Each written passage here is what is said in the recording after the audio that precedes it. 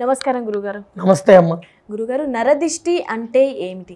నరదిష్టి అంటే ఏంటమ్మా?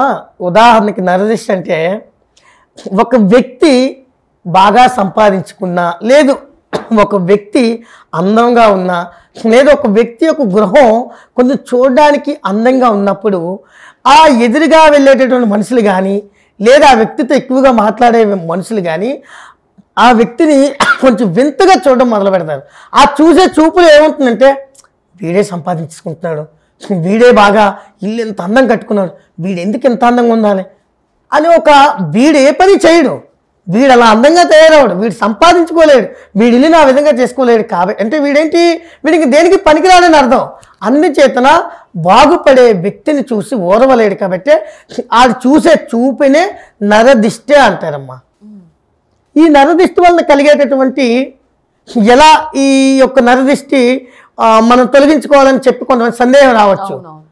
మొట్టమొదటిసారిగా నరదిష్టిని తగిలి తొలగించుకోవడానికి కావాల్సినటువంటి మొట్టమొదటిసారిగా ఒక బూడిద గుమ్మడికాయని తీసుకొని దానికి కనీసం పసుపు రాసి దాన్ని అమావాస్య పూట చీకటి సమ కొంచెం చీకటి పడాక దాన్ని ఇంటికి ఎదురుగా ఇంటికే కాకపోతే కొంచెం దారబంధాన్ని కాకుండా కొంచెం బాల్కనీ లాంటివి ఉంటాయి కదా ఏలబడేలాగా మనం కట్టుకోవాలి. ఇకపోతే రెండోది అందరికీ మన ఇంటి వైపు వెళ్ళే వాళ్ళకి కనిపించేలా ఒక దయ్యం బొమ్మను అది కూడా ప్లాస్టిక్ అయి ఉండాలి లేదా ఇనిమై ఉండాలి ఒక దయ్యం బొమ్మను మనం కట్టుకోవాలి.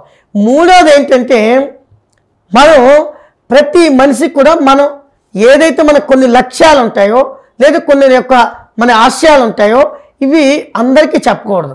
జరిగిన తర్వాత మాత్రమే చెప్పాలి. ఇంకొక విషయం. మనం నిరంతరం కూడా మన యొక్క నోట్లో ఏదో ఒక భగవన్ నామం మాత్రం నిరంతరం ఖచ్చితంగా చెప్పుకొని తీరవలసిందే. ఇలా చేయడం వల్ల ఏమవుతుంది? ఎలాంటి దుష్ట శక్తులు కూడా మన దగ్గరికి రాకుండా ఉంటాయి. ఇకపోతే మన ఇంట్లో ప్రతిరోజు కూడా సాయంకాలమైనా ఉదయమైనా దీపారాధన ఖచ్చితంగా చేస్తే ఎటువంటి నరదిష్టి కూడా రాదు. ఇకపోతే ఇంకొక విషయం. మన ఇల్లు ప్రతిరోజు ఊడ్చడం కాదు. కనీసం ఇల్లు కడుక్కోలేకపోతే తడిగుడ్డైనా పెట్టుకోవాలి. ఇంకొక విషయం మన ఇంటి ముందు కల్లాపు చెల్లి ముగ్గు వేసి ముగ్గులో కనీసం మనం పసుపు వేసి దాని మీద చిన్నదైనా బొట్టు పెట్టాలి. మనం కల్లాపు చెల్లుతున్న ముగ్గు వేస్తున్నాం కానీ అక్కడ మధ్యలో పసుపు వేసి బొట్టు పెట్టట్లేదు. ఇంకొక విషయం మన యొక్క తలుపు దారబంధం ఏదైతే ఉందో మొట్టమొదటి యొక్క దారబంధానికి ఆ పైన ఉన్నటువంటి భాగంలో ఆంజనేయ స్వామి యొక్క రాగి యంత్రము కానీ లేదు అనుకుంటే మనం ఏదైతే నరసింహస్వామి ఉంటాడో నరసింహస్వామి యొక్క రాగి యంత్రం. ఒక పక్క బొమ్మ ఉండాలి ఇంకో పక్క రాగి యంత్రం ఉండాలి. రాగి యంత్రం రాగితోనే ఉండాలి. బొమ్మ ఉండాలి. అది మన యొక్క తలుపు డోర్ మీద పైన దారబంధం పైన పెట్టడం ద్వారా ఏమవుతుందంటే ఎటువంటి నరగోస తగలదు ఇకపోతే చిత్త చివరి. గోమాత ఫోటో ఖచ్చితంగా ఉండాలి. ఎందుకు ఉండాలని చెప్పుకోవడం సందేహం రావచ్చు. గోవు సర్వదేవతల యొక్క కలయిక. సర్వదేవతలకు గోవు యొక్క శరీరంలో ఉంటారు కాబట్టి అందుకే గోమాత ఫోటో మనం తీసుకునేటప్పుడు ఫ్రేమ్ కట్టించుకున్నప్పుడు సర్వదేవతలతో కలిగినటువంటి గోమాత ఫోటో మనం తీసుకొని అది కూడా అందరికీ కనిపించేలాగా దారబంధానికి కుడి చేతి వైపు మనం దారబంధం తగలకుండా దారబంధానికి పై కాకుండా దారబంధానికి కొంచెం పక్క సైడ్ని పెట్టడం ద్వారా ఖచ్చితంగా ఎవరు ఎటువంటి ఏ చూపుతో చూసినా కూడా మన వైపు కానీ మన గృహం వైపు కానీ ఎటువంటి దిష్టి కూడా తగలదు. చాలామంది చిన్నపిల్లలకి అడుగుతూ ఉంటారు గురువుగారు చిన్నపిల్లలకి చాలామంది దిష్టి తగులుతుందండి అని. చిన్నపిల్లలకి ఏం చేయాలంటే మనం ఇక్కడే కాదు బొట్టి పెట్టడం. అది కూడా నల్లటి బొట్టి మాత్రమే పెట్టాలి.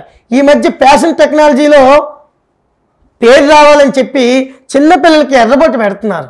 చిన్నపిల్లలకి ఆ నల్లటి బొట్టు పెట్టాలి. అది కూడా కాకి కాదండి. ఏవైతే బియ్యం ఉంటాయో వాటిని బాగా నిప్పుల మీద బాగా వేడి చేసిన తర్వాత వాటిని నూరితే అది ఆటోమేటిక్గా నలుపు రంగులో తయారవుతుంది. బియ్యం మాడిన తర్వాత.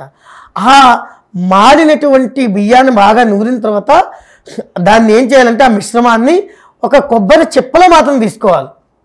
ఈ కొబ్బరి చిప్పలో తీసుకున్నటువంటి మిశ్రమాన్ని మాత్రమే మన చిన్నపిల్లలకి ఇక్కడ పెద్ద బొట్టు పెట్టి ఇంకా ఏం చేయాలంటే కుడి బుగ్గు మీద చిన్న బొట్టు పెట్టాలి ఇక్కడ ఒక చిన్న బొట్టు పెట్టాలి.